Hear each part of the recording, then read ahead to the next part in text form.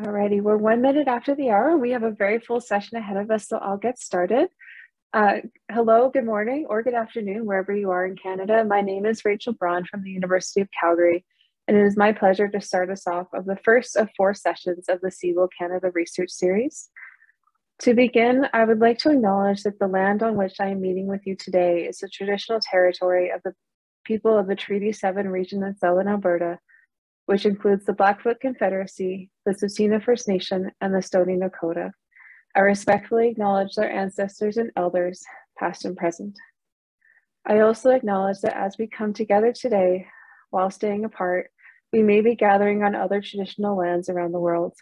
I acknowledge the enduring presence and deep traditional knowledge, laws, and philosophies of the Indigenous people with whom which we all share these lands today.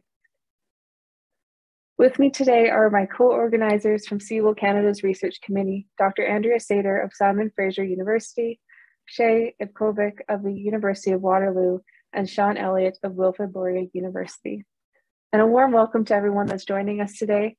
As we start our session, I encourage everyone on the call to share their name and institution in the chat. You're also very welcome to include your own land acknowledgement, and it would be great to know which of our colleagues have joined us today. A few notes about the Zoom platform. We have CEWIL tech support on standby if any issues do come up. But if you have something unexpected that happens during the session, your best bet is to leave the call and join again. But if the issue persists, please notify us in the chat and we'd be happy to help you. In between each presentation, we also hope to have time for a few brief questions. Um, to do so, please use the Q&A feature at the bottom of your Zoom window. It's in the black bar. If you submit them there and address your question, I can moderate the questions in between and keep us on time, but also engaging in some really interesting discussion. Over the coming weeks, the CEWIL Research Series will feature eight research papers published in the practice of co-op and work integrated learning in the Canadian context, this book brings together a collection of research on the practice of cooperative education and WIL in the Canadian context. This book is meant to inspire researchers and practitioners alike working in this field day to day to apply research to their own practice, as well as to invite the WIL community at large to ask more questions and further propel WIL research across Canada. It's also available for download on the CEWIL website, and I'll post the link to that in the chat.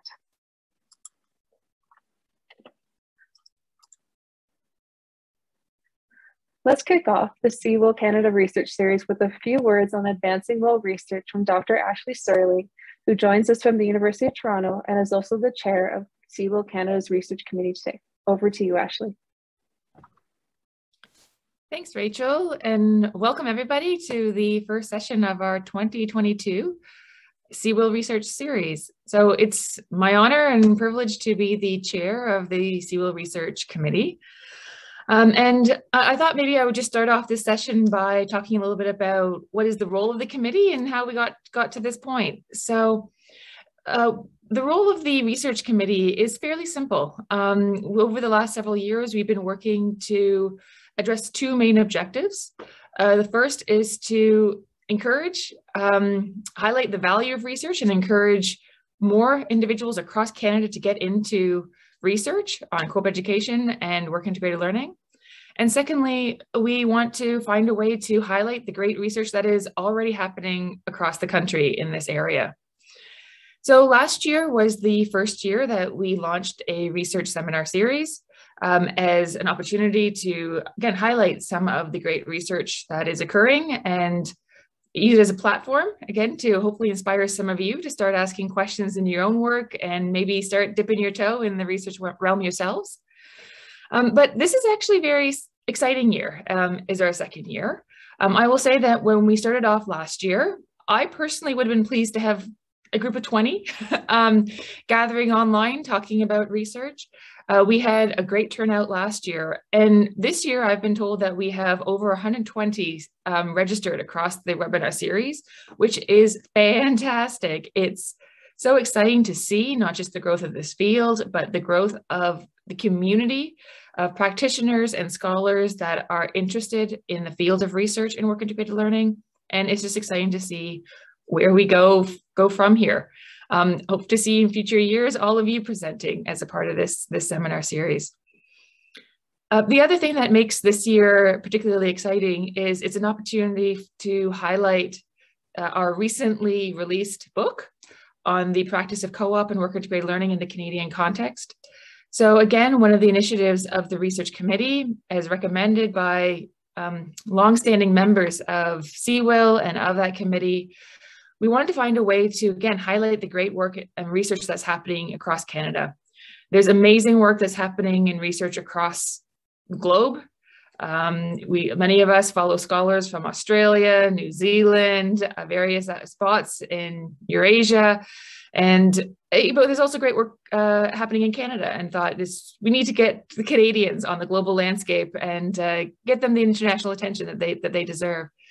So this led to the development of the special um, issue, Canadian issue of the International Journal of Work Integrated Learning, um, and very excitingly led to the uh, development and publication of the first book in Canada on, again, co-op education and work integrated learning in the Canadian context. So this is a really exciting opportunity for us to highlight the research that has been published in this book, um, and importantly, the authors uh, from across the country.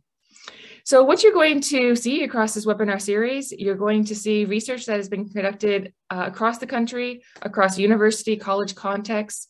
Uh, you, we are going to hear research that has been done on the purpose and value of work integrated learning, how to delineate and define different types of work integrated learning based off of purpose-based typologies. We're going to hear about research that's been done on the value and outcomes of work integrated learning for professional development, for learning, for employability, um, and many more positive benefits and outcomes, uh, as well as some of the barriers to achieving these. Uh, we're also going to hear about critiques of work integrated learning and experiences across diverse disciplines, mining, medical industry, uh, across public health as just some examples. Uh, and also uh, there'll be some presentations specifically focused on alternative um, non-co-op forms of work integrated learning, specifically community engaged learning, which is really exciting as CEWIL itself has recently broadened its mandate to include the diverse ways in which students may engage uh, in, in learning um, with the community and workplace more broadly.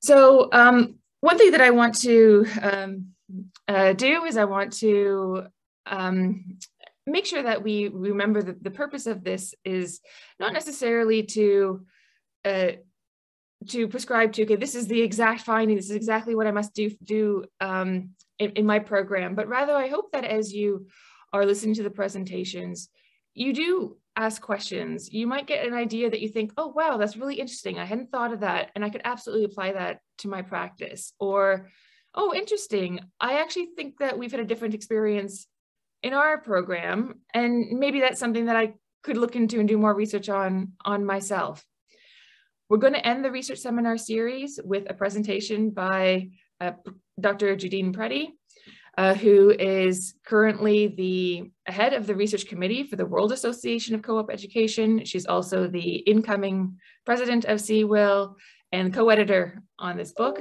And so really looking forward to her presentation um, at the end of the seminar series and how to get into research. So how to get started for those of you that want to get into this, uh, may not know where to begin, or for those of you that are already doing research and want to get more involved, uh, she will be wrapping up with some great tips uh, to get started.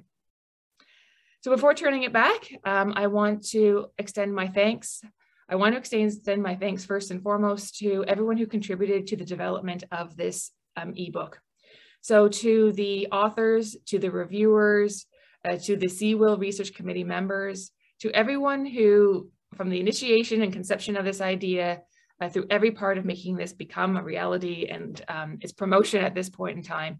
Thank you very much. It wouldn't be possible without you. This is really exciting, again, to showcase the great work that's happening across Canada. Um, and I hope that there's more initiatives to come. Um, and then very importantly, I really want to give a special shout out to the CEWIL Research Committee members who have really taken on the organization of this seminar series. So special thanks to Andrea Sator, to Shay Ivankovich, to Sean Elliott, and to Rachel, Rachel Braun. Uh, this wouldn't have come together without you. Thanks for your leadership and for making this happen. So without further ado, I will turn it back to Rachel to get started with the research presentations. Thanks again. Thank you so much, Ashley. So our first paper is presented by Apira Ragunathan on Obidimma Ezezika, both of the University of Toronto Scarborough. Their paper is entitled Work Integrated Learning Experience for Public Health Students, a case study project in partnership with a community farm. Over to you. Thank you so much, Rachel. Um, I'm just going to share my screen because I do have a PowerPoint. So give me a few seconds for that. Can you guys see that? Oh, yes. There we go. Okay. Um, awesome. Okay. Um, so hello, everyone. Thank you for having me present at this research series um, for the paper, a case study project in partnership with a community farm. Um, I'll just start off with a little introduction. So my name is Apira. I'm currently a student at the Dalla Lana School of Public Health, specializing in the health promotion stream. I received my bachelor's degree from the University of Toronto in Health Studies and International Development. And during my time there, I worked with the Global Health and Innovations Lab under the supervision of Professor Obidimma Ezezika, who is my co-author on this paper. The chapter in the ebook I am presenting presenting today is based off my experience as a community engagement coordinator for Professor Ezezika's Global Health and Human Biology class. So I'll start with a little background information on the course as well as the project itself. So the Global Health and Human Biology course is designed for students to apply their knowledge of human biology to solve real, health, real world health cases. So some of the learning outcomes of the course include understanding the dynamic relationship between biological issues and global health, identifying strategies used to prevent or treat diseases in successful global health projects, executing problem-solving steps appropriate to completing a variety of global health case study assignments, and working with a team to complete specific group projects related to global health and human biology. The final culminating evaluation in the course is a group project in which students develop an intervention, such as a program or policy to address an emerging global health issue. These interventions are usually hypothetically developed and based on information learned in class, in 2020, however, students were given the opportunity to participate in a work integrated learning experience in which they worked with a local organization to address food insecurity in Toronto, as well as present their intervention ideas to the community partner. So who was involved? We had our community partner, of course, who was Black Creek Community Farm. They are a nonprofit in the Jane and Finch neighborhood in West Toronto, and their goal is to address food insecurity by increasing access to healthy foods. They do this through several of their community programs, educational workshops, community gardens, and food distribution projects.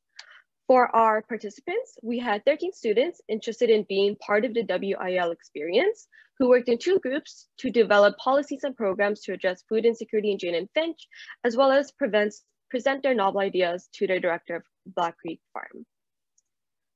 So for this presentation, I just want to highlight the five lessons we learned from coordinating this project, as well as its relation to the Kolb's experiential learning model. And towards the end, I'll also highlight some of the guidelines we developed of how to improve future WIL experiences for public health students. So just a very brief overview of what the model is. Kolb's experiential learning model is a four-stage learning cycle that describes how we learn using experiential learning opportunities. The four stages are the concrete experience, reflective observation, abstract conceptualization, and active experimentation. So for the first stage, students participated in many different concrete experiences to boost their learning involvement in the project. This included visiting the community farm to meet with the director, where they learned firsthand how the Jane and Finch community is affected by food insecurity. They also got a tour of the farm to see all the resources in place to address food insecurity, such as greenhouses to grow produce all year for their distribution projects, spaces for community members to plant their own produce, and classrooms for teaching. Students also got the concrete experience of presenting their interventions to the director of the farm, this gives students opportunity to learn what it's like to do a formal presentation to a key stakeholder in public health, as well as receive feedback for consideration based on the stakeholder's knowledge and experience in the field. This third, the, uh, sorry, the third concrete experience students got was to develop a community information pamphlet about Black Creek to distribute to the community. This was a task requested by the partner for students to do as an additional learning opportunity to understanding how the nonprofit works. In the second stage of reflective observation, students were able to fill their gaps in learning um, using what they had learned with the concrete learning experiences.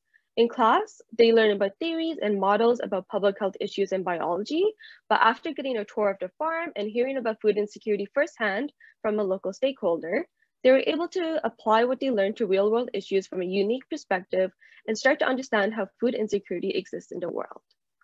For the third stage of abstract conceptualization, students were able to modify concepts they already learned in class, develop their own ideas and theoretical constructs related to the WIL experience. They developed an understanding of how course concepts can be applied to understand food insecurity in Jane and Finch specifically, to develop new models of addressing food insecurity.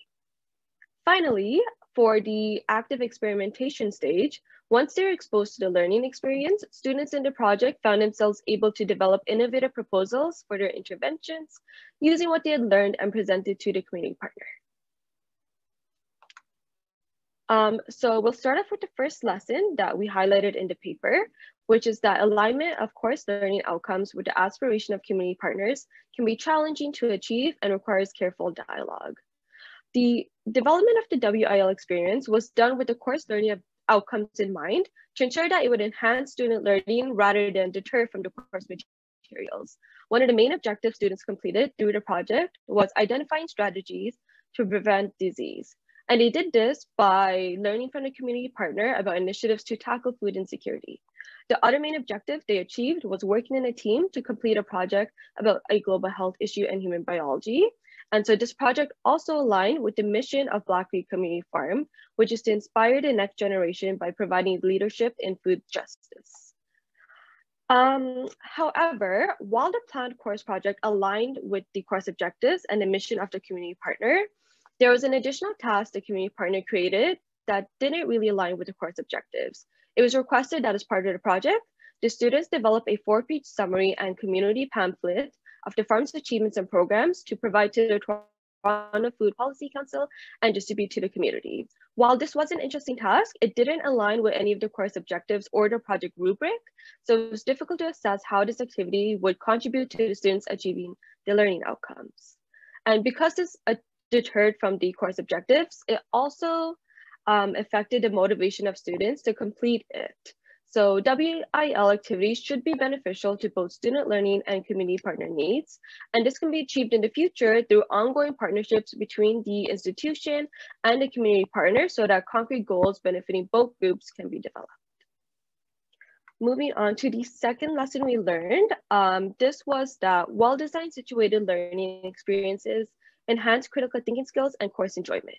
So students found that the WIL experience helped them think about course concepts and models beyond the classroom and apply critical thinking skills to understand how to apply it to a new context. They also found that the project um, helped them achieve the course learning outcomes and lighted an interest in future career and scholarly interests. Two students even remarked in the course evaluations um, saying that Black Creek Community Farm was an interesting experience and it was nice to learn about new health initiatives in Toronto. And another student saying that they really loved the project for this class and being part of the project really opened their eyes to the reality of globalization and how even though Toronto is considered one of the best places to live, um, there are still neighborhoods with children who don't have access to food. The third lesson that we learned was that because the situated learning experience is just part of the entire learning experience, careful consideration must be given to how much time students allocate to the experience. So the WIL project was completed by only 13 students, while the rest of the class completed the same project, but in a more hypothetical context without a community partner involved. So while the instructions and objectives of the project remained the same for both parties, the students participating in the WIL experience had to spend much more time outside of the classroom on their project than others did. This is because of things like traveling to the farm, which is quite far from U of T campus, as well as attending additional meetings with the community partner and completing that additional task of a four page um, summary and pamphlet, which was originally not in the project plan. Students also felt that their work, um, the work they were asked to do was a lot higher for other students. Lesson number four um, is that students may not see the value of such a situated learning experience unless they are clearly shown how such an experience might enhance performance in the course summative assessments. So this was the first WIL experience for many of the students who normally normally have only had scholarly experiences that didn't really go beyond the classroom. So therefore, they may not have seen the value of components of the various activities involved in the project at first. For example, some students missed the original WIL activity of the farm tour and meeting with the director, which was understandable because of a student's busy schedule and the very far distance of the farm. However, more initiative could have been placed by the students at this stage to communicate with the partner um, via the other forms offered such as email or virtual call, since this was a very important step of collaborating with an organization. However, the value of each activity, such as the tour and the meetings, were seen when the students were actually developing their interventions, as they had clearly incorporated what they had learned from those experiences into their projects. Seeing the bigger picture at the end of the project can help increase the knowledge attained and stimulate learning. To increase students' interest earlier in the project for future projects, uh, learning outcomes can be listed specifically related to career development goals, such as engagement with partners. This could clearly define the project as a learning opportunity in which students can engage with partners to work on issues in public health. Such a learning outcome that could be implemented in future projects could be engaging with community leaders to create partnerships and develop career skills. And then finally, lesson number five is that creating hands-on experiences that stimulate work placements for students allows them the opportunity to create meaningful impact with the knowledge they learn. So like I mentioned before, this culminating project for the Global Health and Human Biology course is usually done hypothetically and just presented to peers and a professor for evaluation. But with this WIL experience, students were given the opportunity to create an impact in the community by being able to develop real potential interventions that could be implemented into Jane and Finch, and these ideas were presented to the director of Black Creek. This provided potential impact for Jane and Finch community as their interventions could be considered for funding and policy making. The four-page summary the students created based on Black Creek's achievements was also impactful as it had been shared to the Toronto Food Policy Council and local organizations, allowing potential partnerships for Black Creek to continue addressing food insecurity. I also want to highlight um, one of our students, Selena, who continued to make an impact on the Jane and Finch community alongside Black Creek even after the course and WIL project was done. So she continued to advocate for food insecurity issues with Black Creek and even won the National Award for CEWIL for her work in this WIL experience. She also received a COVID-19 Student Engagement Award through which she supported Black Creek throughout during the pandemic with their emergency food box program. And finally, I'm just going to quickly highlight some of the guidelines um, that we had developed based on the lessons we learned through this project. So the first one is that providing a variety of different opportunities can provide students with different methods of learning. The second guideline is that ideal community partners should have missions or values that align with the learning outcomes of the course. The third guideline is that partnerships should be created in contexts where both academic and local community goals can be met. And the fourth guideline is that um, we must evaluate and refine learning outcomes with partners so that learning outcomes can be reciprocal and beneficial for both students and the community partner. And finally, WIL experiences should be designed in line with the learning outcomes of the course. Um, I finally wanted to just do a quick acknowledgement um, about Black Creek Community Farm and the director Letitia, who we want to thank um, for partnering up with our course and giving the students the opportunity for this work educated learning experience. And that is the end of my presentation. So thank you very much. And I will open the floor for any questions. Thank you so much for that excellent presentation, Apira. Um, for our next couple of minutes, please use the Q&A feature at the bottom of your Zoom page, and we'll happily see how many we can get through in this window of time.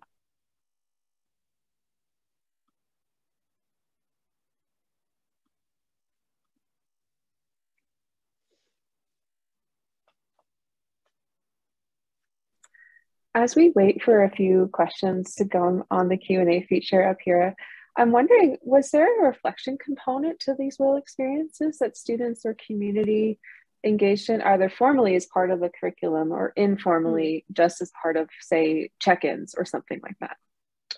Um, so there were two reflections. Um, so one was sort of formally in, integrated into the course.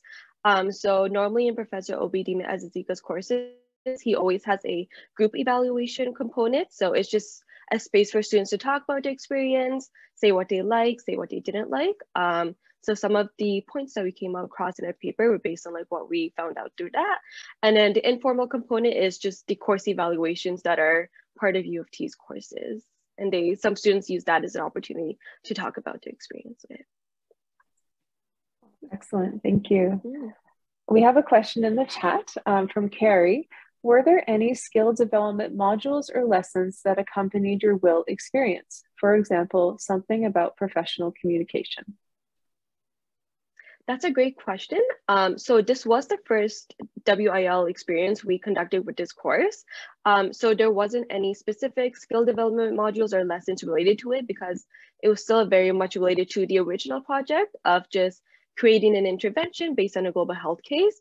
But this was just more of a way to make the students more engaged in the community and providing the opportunity. But in the future, that is something we do want to um, incorporate as they send in the lessons, um, just like talk about career development skills and like learning how to engage with community partners. Um, so it's one of the lessons we learned for the future. Excellent, thank you. We have another question in the chat. Would you suggest any changes to the course delivery? That's also a great question. Um, I think the only change I would make is so again, for one of the lessons, I talked about how some students, the WIL students in particular, had to spend much more time on their projects compared to other students.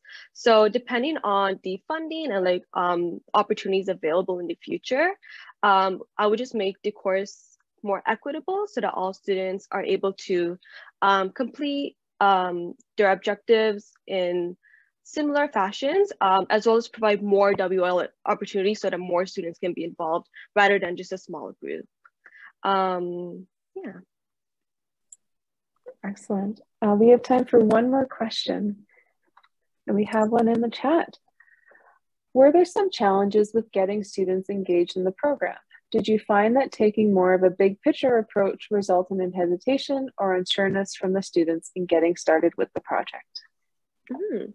I think um, in terms of the actual project of them developing an intervention, they were very engaged throughout the process um, because it was very clear the steps, but that one additional task of creating that four page summary for the nonprofit um, um, to help them create an impact, that was a little less motivating for students to do because it wasn't part of the original project or the syllabus.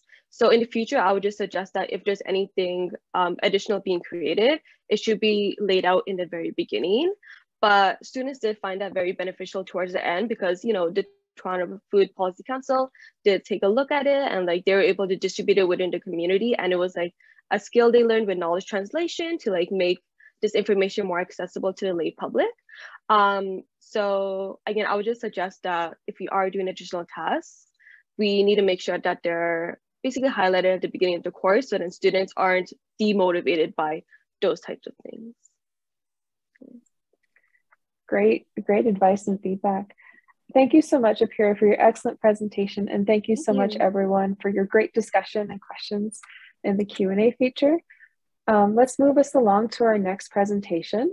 It's titled Number of Work Experiences and Student Employability, by Doctors David, David Drewery and Judene Pretti of the University of Waterloo. Waterloo. Over to you. Great. Thanks, Rachel. And um, a really nice follow-up, I think. Um, I really enjoyed your presentation, Apira, and I think that some of the things that, um, that Dave and I are gonna highlight in our research connects really nicely uh, to some of the things that you found in your um, course-based uh, work integrated learning projects that students were involved in. Um, so I'm Judene Pretti. I'm here presenting today with my colleague Dave Drewery, uh, both of us from the University of Waterloo. Uh, before I get started, I just want to say, uh, to echo the comments of Ashley from the, the top of the, the session about how gratifying it is to see such a large turnout um, join in for this, this research session. I've been involved in WIL research for more than 10 years now, and uh, I'm really excited to see the momentum and the interest in WIL research in Canada. I hope that you will tune in to the other sessions that Ashley mentioned, and I'm looking forward to, uh, to closing out the series uh, on March 3rd with uh, ways that you can get involved in WIL research if you aren't already. So what Dave and I are going to be sharing with you today, um, and thank you, Dave, for putting up the slides, is the contribution that we've made to the practice of co-op and work integrated learning in Canada in the Canadian context book. Uh, we'll mention it again at the end of the presentation where you can learn more about this work if you're interested. But in addition to uh, reading the chapter in the book, uh, Dave was a guest uh, on, the on an episode for the Into the Wilderness podcast that uh, Dan Laughren from CEWIL um, produces. And uh, so that's another great discussion of the work that we're sharing today. So let's get started. So our chapter in the book focuses on the contribution of work integrated learning to student or graduate employability. So generally speaking, those of us who work in, in higher education know that um, it's fairly common for governments and educators, students, parents to be interested in how higher education is going to um, prepare students for their future of work, whatever that looks like. Um, and when we look across work integrated learning in Canada, um, as well as across the globe, it's clear that work integrated learning is seen as a mechanism or a model of education that has the opportunity to enhance graduate employability. There is some research that makes these connections. Uh, for example, there's research that demonstrates that participation in WIL programs reduces time from graduation to employment, as well as research that shows that there's a, a premium for wages for students who have participated in WIL. Uh, before I go further into our study, I want to note um, that while, while what we were studying was the connection between uh, participation in WIL and employability, um, I'm, we're not suggesting that employability is the only outcome of participating in work integrated learning. So I just want to be really clear that uh, while employability is an outcome of interest to many, we acknowledge that it's not, not the only outcome of interest. So with that, um, we've given the examples of wages and postgraduate employability as examples of outcomes for participating in WIL. But what we wanted to dig into is what is it about WIL that, that's contributing to those outcomes? So uh, before I go further, let me say that when we say employability, for the purposes of this study, uh, we're talking about employers' interest in hiring and retaining uh, a given individual for, for employment.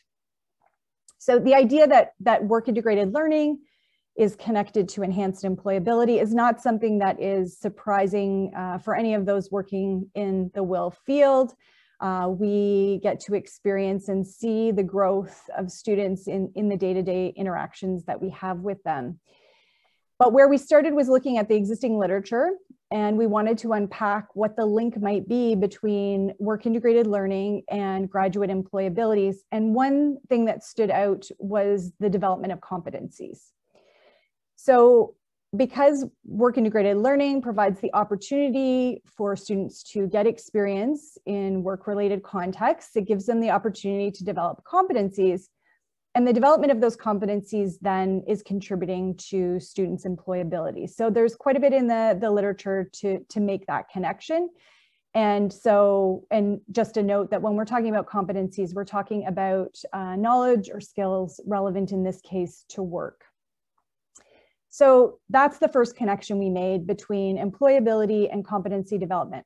But when we looked at the literature, we wanted to take it one step further and examine what it is about the WIL experience that enables that competency development. And from the existing research, two things stood out. So one was the fact that students are engaging with authentic work, which ties really nicely to the presentation that Apira just, just gave. The other is the formalized reflection, which was also discussed in that presentation. So the formalized reflection that enables the students to examine and think about the experience and consider their areas for growth and development. So to recap, the literature suggests that the authentic nature of WIL experiences, the real world experience, and the reflection are what is enabling students to contribute to their competency development. The act of working and reflecting helps students think about their professional interests, navigate social dynamics at work, and develop that tacit knowledge and skills that are going to be useful to them in subsequent experiences.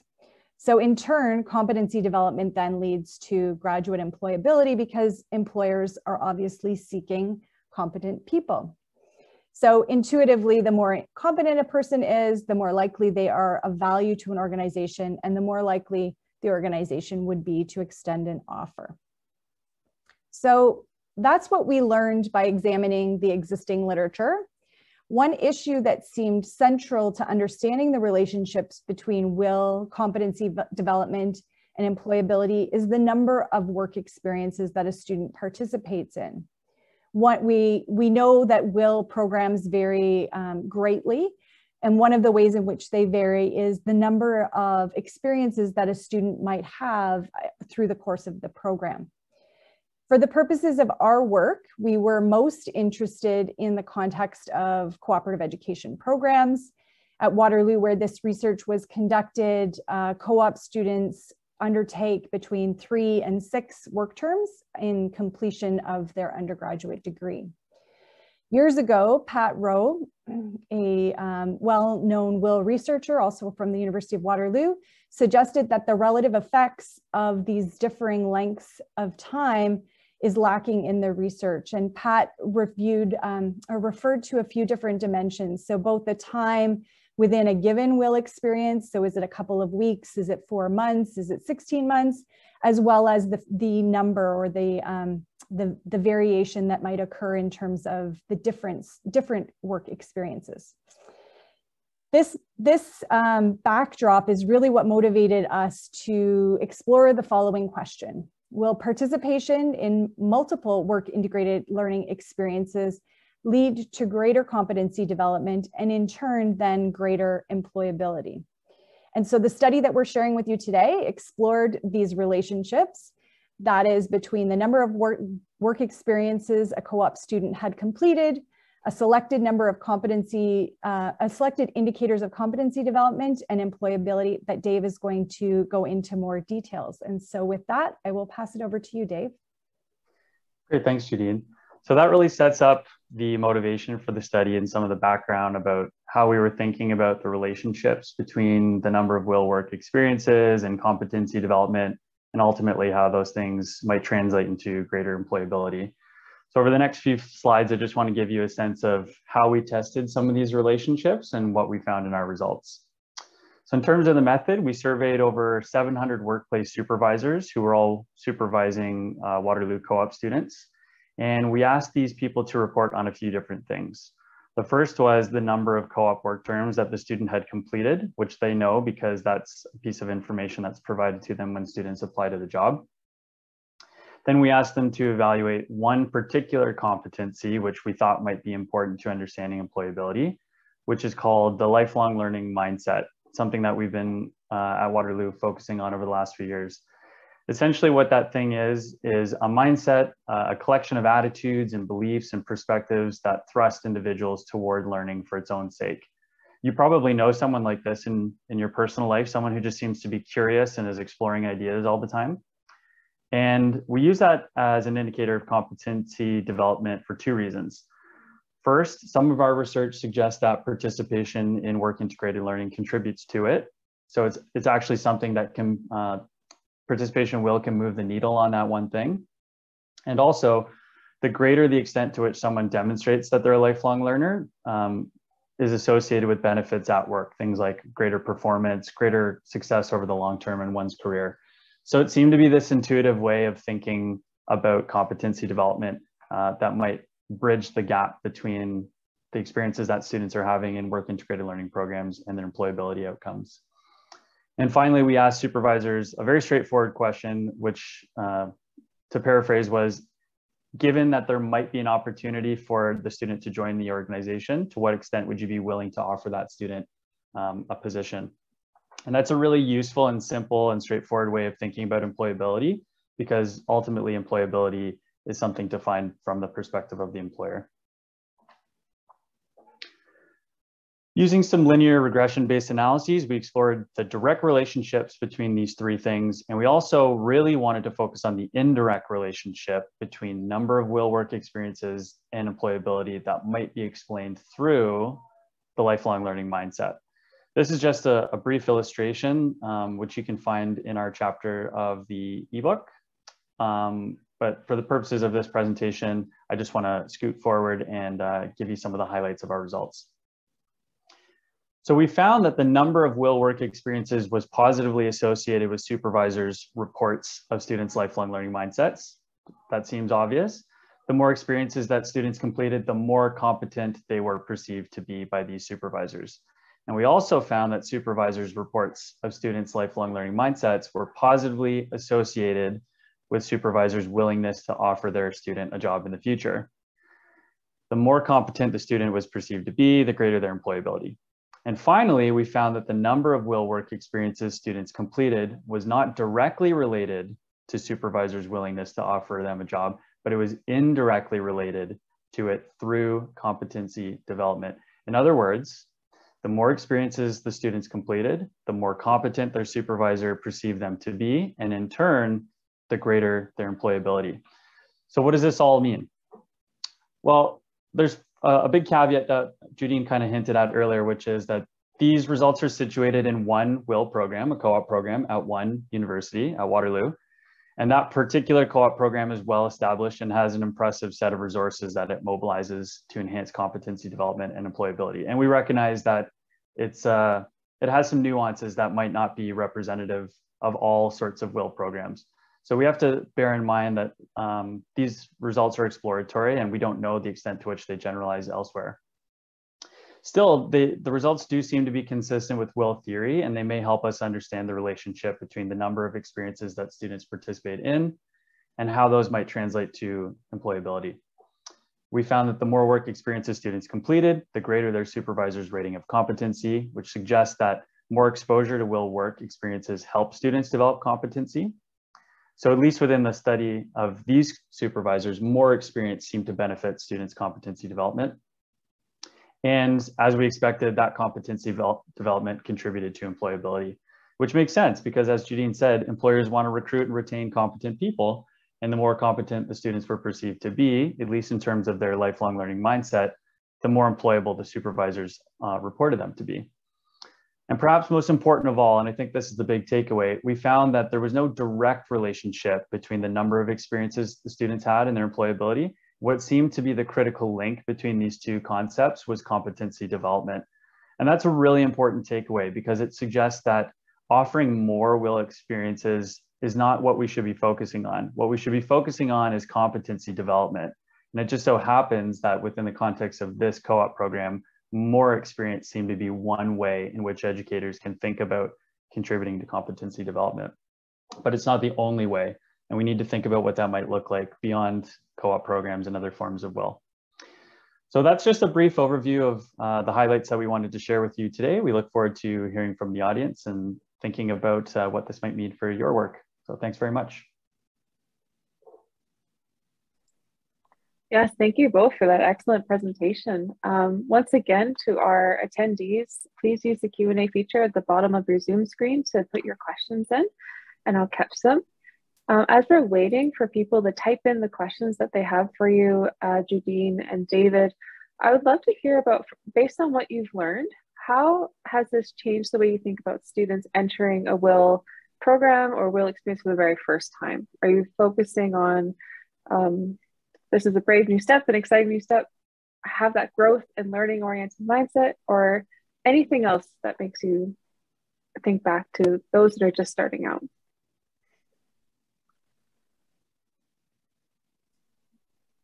Do you want to start with that one, Dave?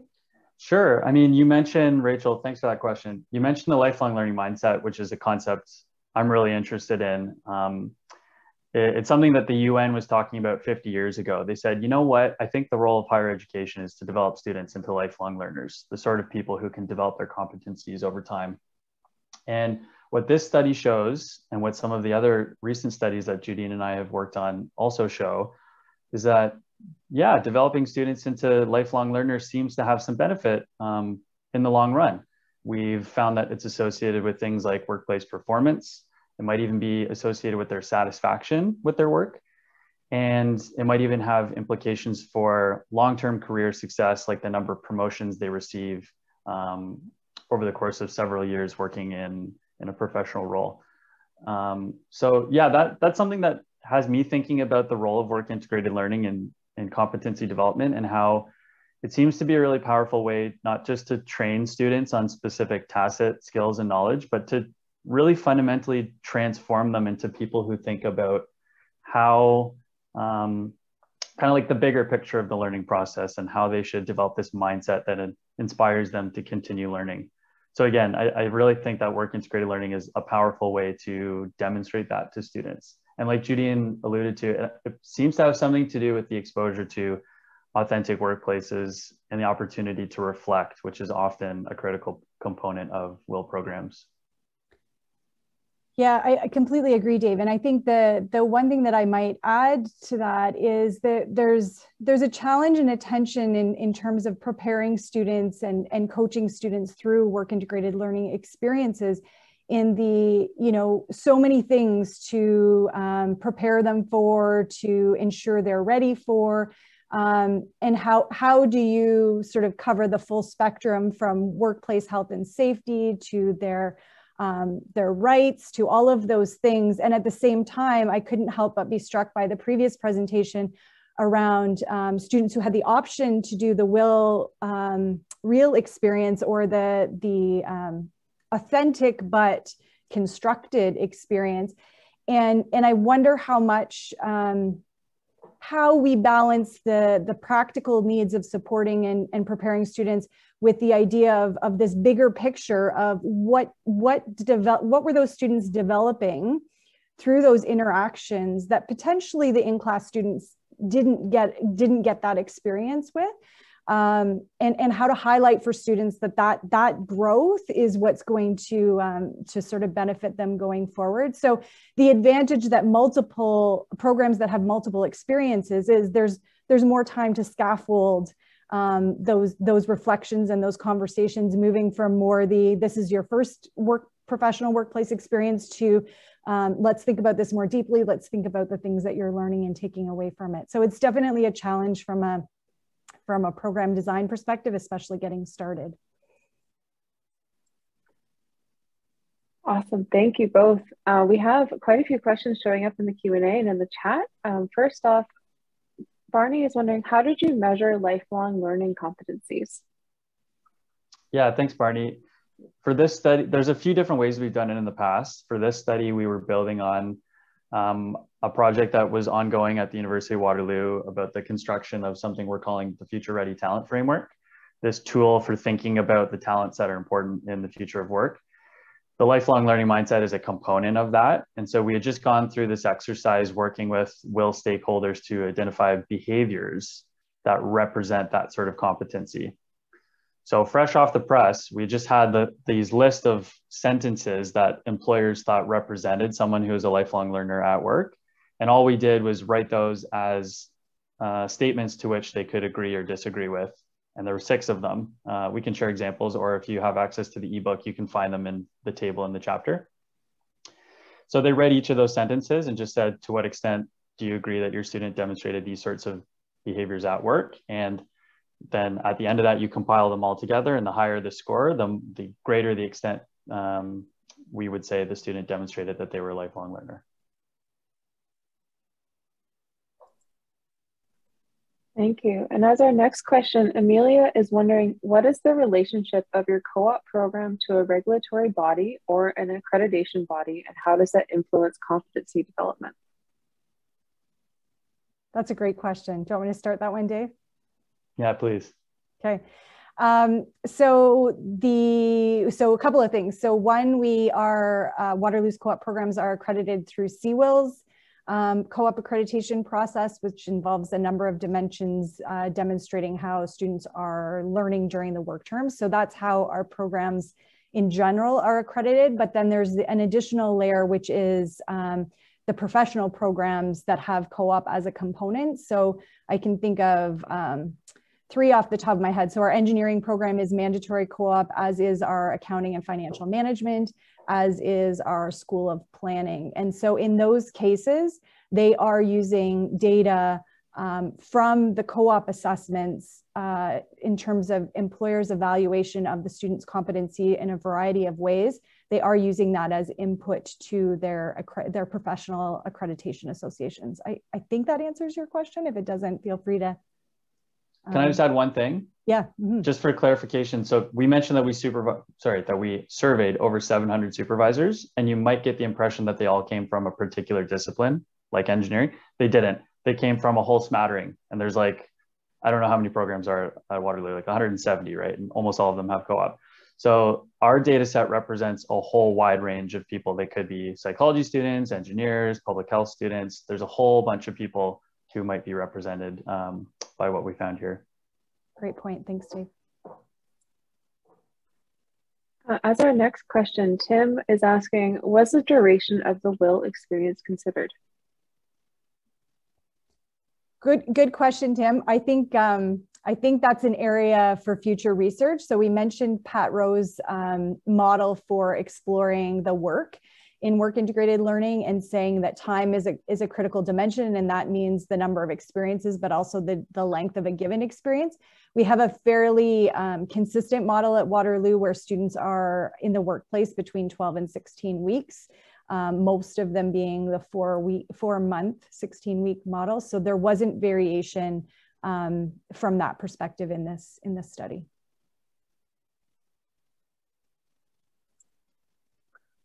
Great. Moving towards the questions in the chat, Ashley is wondering, is it possible that students focus more on competency development when they know they will complete multiple WIL experiences versus engaging in one authentic work experience at the end of the at the end of a degree when they may personally be approaching the experience to get hired as opposed to for learning purposes? Any suggestions to help students focus on competency competency development in WIL?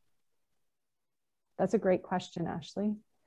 Um, and it is something that actually came up a little bit in the conversation that Dave had with Dan on the podcast in regards to there's there's other factors that obviously could be affecting the the development of of these competencies and we would need um, more um, a different design to be able to isolate the impact of WIL itself but with respect to um, like a, a one later experience versus several i there, we don't have research to, to answer that. I, I think that it has to do with how the, how the design of the program is, is structured to incorporate that reflection on the authentic, um, meaningful tasks as opposed to um, the fact that it's one versus many. But I don't know, Dave, if you have um, a hypothesis on that. I definitely don't have a hypothesis. It's a really interesting question to consider. Um, Ashley used the word focus on, like, like suggesting that students are paying attention to competency development. I'm not even sure that's the case. And I don't even know if that's a critical factor in the learning process within WIL. I don't know that they need to know at the beginning, okay, I'm here to develop competencies. I think it's um, probably even something that they take for granted that WIL experiences are just so um, abundant with learning opportunities. I don't even know that they know until the end. Um, and what we've, I think what the literature really highlights within that process is the power of reflection, critical reflection, reflection on experience, re reflection in experience, which everyone on this call knows all too well. And I don't need to explain it, but um, I think that's the critical point at which students start to focus on their competency development. So in WIL programs, as we offer more of those opportunities in very intentional ways, like really start to highlight them as important parts and not just something that they do for a pass credit at the end of uh, you know a one week thing that they just kind of scribble down something in an hour and call it done.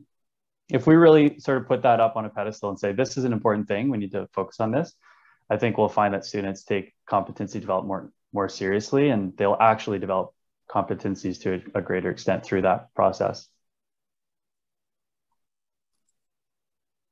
Thank you both. We have one last question. which is, did you compare firm employment offers and your lifelong learning variable? Well, like another way of operationalizing employment, I'm sure that's what that question means.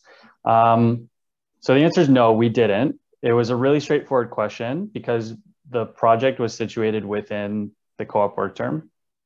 And I can't remember exactly when we sent out the survey, but it would have been towards the end.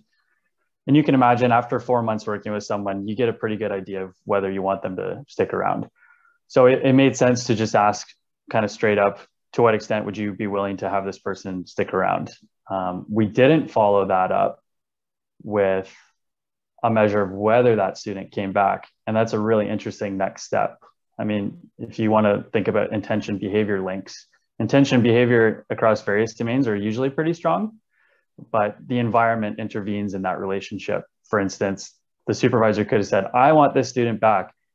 And then perhaps COVID happened and the dynamics of the organization change in a way that made it you know untenable for that student to stick around so um, maybe in a future study we can think about what that link looks like but you can imagine that the more willing they were, were to have the student stick around um, the more likely it was that at least an offer was sent out the, the other um, challenging component to that is often uh, waterloo students in particular are part of the co-op program because they want to try out different employers over the course of their employment. And so whether or not the student returns may not correspond to whether or not the employer wanted them to, to return. And so when we were wanting to get at this, uh, this idea of employability, it was more a matter of would you extend an offer? Right. Yeah. Alrighty, thank you both, and thank you uh, to all of our present uh, presenters and speakers today. Uh, we have one minute left, so I will close with just giving like a virtual applause to everyone. Thank you so much again for sharing your fantastic work. Um, once again, the papers that these presentations are based on can be found on the ebook. Um, the link is posted a couple of times in the chat. Um, and I invite everyone to join us next week for part two, where we'll learn about WIL in the Ontario college sector and addressing common barriers to engaging faculty in work integrated learning. Uh, so with that, thank you so much, everyone, and take care and stay safe.